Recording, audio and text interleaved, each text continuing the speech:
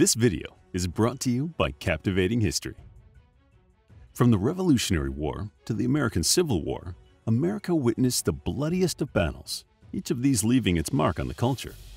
But the War of 1812 is one of the most interesting. It was relentlessly unapologetic and outright unpredictable in its narrative flow. This three-year war followed the Revolutionary War, lasting from June 1812 to February 1815, and was fought over issues that continued to plague American-British relations, especially in terms of Canada, still under England's rule. This local war between Canada and the US took place in tandem with the Napoleonic Wars in Europe. Considering the events and the consequent result, one might think that the War of 1812 was somewhat futile and ridiculous. After all, both parties retained control over their original land. Still, it served as a milestone in American history for birthing great American leaders and dictated social and cultural thought for years to come. The British colonies in the New World seized independence through the American Revolutionary War, but could not enjoy the fruits of economic freedom. They were dependent on European imports and exports for trade and had a hard time developing their local industries. Clashes with the British colonies in Canada were an everyday chore. Under the circumstances, war seemed unlikely, yet it wasn't far away. The prologue of this war involves a host of different factors and events. Beset by economic problems, the Americans were expanding their colonies and looking to establish trade with Europe. The instability and conflict of Europe forced people to migrate to the new continent with hopes of starting a new life. With the Napoleonic Wars underway, America considered France a potential trade partner since the British Empire had implemented severe trade restrictions to limit options for the French. The Americans could not afford to alleviate Britain's concerns. They had enough of their own. Therefore, they established trade with France and cut off all trade with Britain. The US was expanding towards the north, and that did not bode well with Britain. The Brits wanted to maintain a firm hold over their holdings in the north. Britain controlled Canada and backed the Native American colonies resisting American expansion. To expand, brute force and conquest were the simplest, even if not the most amicable solution. Another factor inspiring Americans to oppose British influence was the forceful admission of American subjects into the British service by the Royal Navy. Colonial rule, as it often does, was becoming a nuisance, and people in the New World were desperate for freedom. The notion of war started floating around the U.S. Federalists were against the idea, and the issue divided the country into factions. Amid mounting pressure, President James Madison decided to go to war. Historians often criticize President Madison, one of the founding fathers of the United States, for his performance during the War of 1812. Andrew Jackson, the eventual seventh President of the United States, also played a crucial role in the war. On the other side of the continent stood George Prevost, revered by the Canadians today as an important part of their defense strategy during the war. As Prevost was crucial in charting out a strategy, Major General Isaac Brock of the British Army was crucial in realizing it. Caught between two leading figures was a Shawnee Indian named Tecumseh, often regarded as the last great Native American visionary who dreamt of a unified Native American coalition. Undercut by circumstances, he had to rely on and join forces with the British Empire. The British had their hands full with the Napoleonic Wars. The US wanted to strike while the iron was hot. The Americans knew that there were no match for the Royal Navy, a force to be reckoned with, and preferred to keep the battle on land where they had the upper hand. Despite their obvious advantages on different terrains, the two sides suffered unpredictable losses and garnered unforeseen victories. Extending their territories to the north, the Americans wanted to free Canadian states from British rule. However, the intentions behind this goal were not as altruistic and humanitarian as one might imagine. The Americans knew that Canada was a vast land and that it would be impossible to govern it with limited resources and manpower. Furthermore, the Americans wanted to avoid an annexation with Canada because their values were not keeping with those of the Canadians.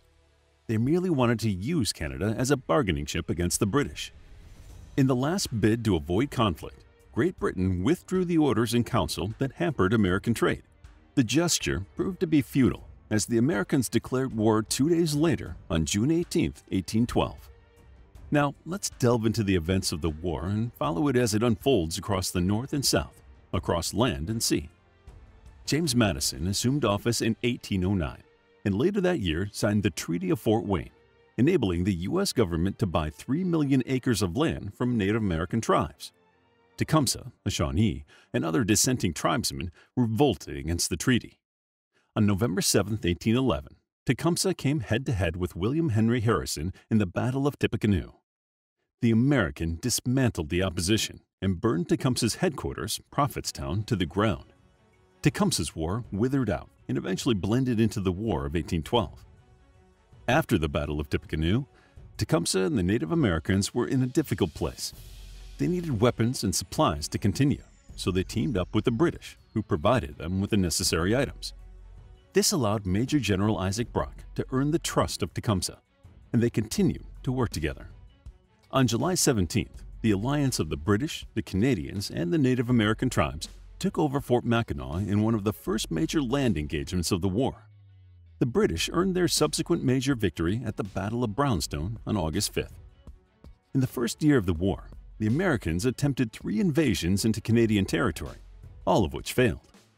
On July 12th, General William Hull crossed the Detroit River and made his way into Canada with a force of 7,000 militiamen. The 58 year old general was not a great strategist, a fact that made matters worse. Soon after crossing the river, Hull retreated to Detroit, abandoning his venture in Canada. As retaliation, Britain's Major General Isaac Brock and Tecumseh relied on sly wit, arranging for a fake document to reach the Americans, informing them of a large army of Native Americans headed for Detroit.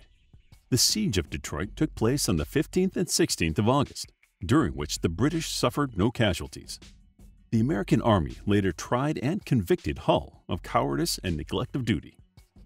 On October 13th, Stephen Van Rensselaer, a major general in the New York militia, put together an offensive on Queenston Heights across the Niagara River. A few days into the battle, Britain's Major General Isaac Brock died. Almost 900 Americans were captured, and roughly 300 were killed or wounded another American company of troops retreated soon after setting out to capture Montreal.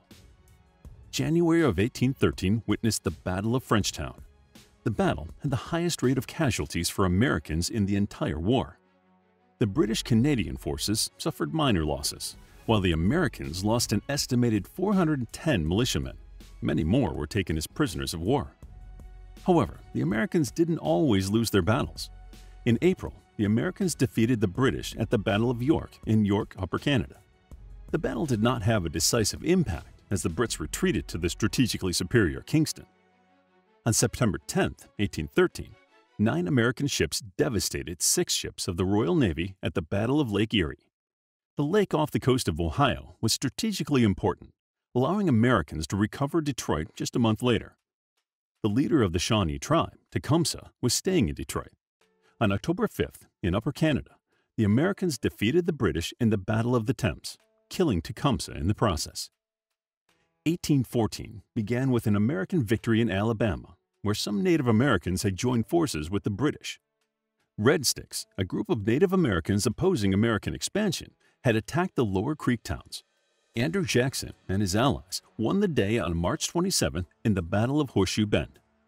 He then forced the Allied and foe natives to sign the Treaty of Fort Jackson and cede nearly 23 million acres of land. The first two years of the war had been relatively inconsequential for the American and British civilians. That changed in mid August of 1814 when the British arrived at Benedict, Maryland, and started their march towards Washington. As news reached Washington, fear and panic took hold. On August 24th, the British reached a deserted Washington so they started fires inside the Capitol and the White House. The Brits were gaining some momentum. Led by Sir George Prevost, a naval squadron arrived at Plattsburgh, New York. The Battle of Plattsburgh ended on September 11th, with the Americans emerging victorious. The American forces also defended against the invading British forces at Maryland, and as the tide of war turned against them, the Brits were forced to end the conflict. On December 24, 1814, the Treaty of Ghent was signed by both sides, bringing an end to the war. While the news of the treaty took a month to reach America, Andrew Jackson was still fighting the Battle of New Orleans without knowing the War of 1812 had ended. The Treaty of Ghent took effect in February of 1815. At the end of the war, Britain and America had given up little to no land and lost few lives compared to other major wars. Ultimately, the Native Americans bore the brunt, having lost their land and suffered numerous casualties. A far more thorough treatise is available if you'd like to learn more about the War of 1812. Check out our book, The War of 1812, a captivating guide to the military conflict between the United States of America and Great Britain that started during the Napoleonic Wars. It's available as an ebook, paperback, and audiobook. Also, grab your Mythology Bundle ebook for free while they're still available. All links are in the description. If you enjoyed the video, please hit the like button and subscribe for more videos like this.